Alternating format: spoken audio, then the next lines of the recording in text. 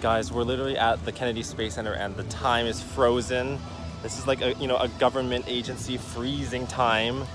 I think this means that like literally quantum foam has like changed and now time does not pass.